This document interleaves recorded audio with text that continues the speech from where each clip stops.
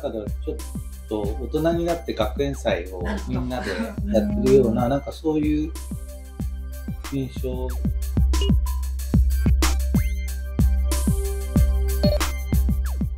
昔、イマジネーションゲームっていう映画を自分で企画プロデュースしてやった経験はあったんですけど、はい、あの監督は今回初で、監督できるかなみたいな不安とかもあって、はい。で別の監督を立ってた方がいいかなとか、ー結局、なんか、そのプロデューサー、酒井さんが、はい、あの、菅野さんがやっぱ監督してくれないと、モチベーションが上がらないっていうようなことを。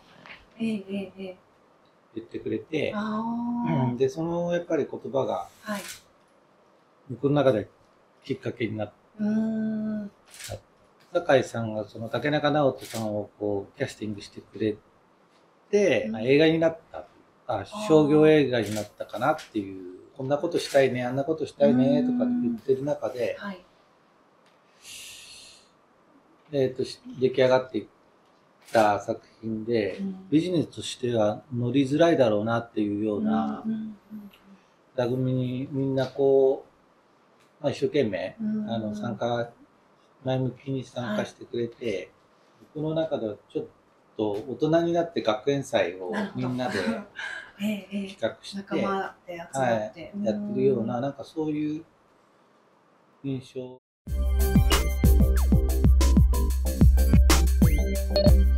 父親と娘の話なんですけど、はい。まあ、あの、僕の世代がちょうどもう親が70代、もうすぐ80近くなってるようなはい。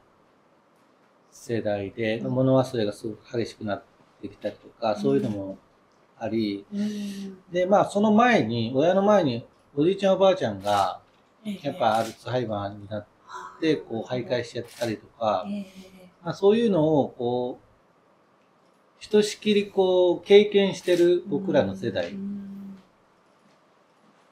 ていうのが、はい。親との関係性みたいなものうん。っていうのをどう構築していくかっていう、誰しもが持っている、もしくはいずれ経験する、うん。あの、家庭みたいなものうん。になんかこう、一つの、なんか、うん、光というか、うん。うん。あの、死生観のようなものを面白い形で提案できたらいいなっていう。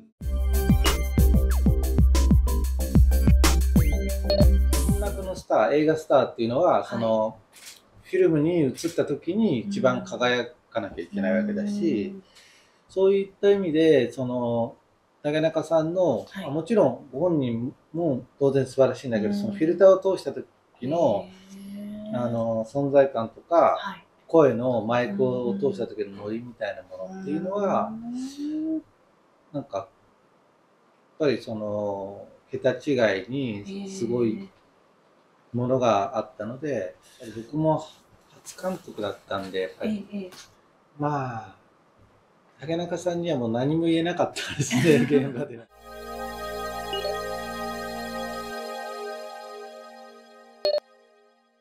まず自分だったらどうするかを考えるんですよ。それと真逆をやるんですよ。そうするとアイデアが倍になるんですよね。右に行こうと思った時に左も試すんですよ。作業量は倍になるんですけど、はいあの、ええ自分だったら右に行くって思ってるってことはみんなも右の方がいいと思ってるんですよ。はいだけど左も試した時に、あれ？左いいじゃんってなった時にそこに驚きが生まれたりするんですよ。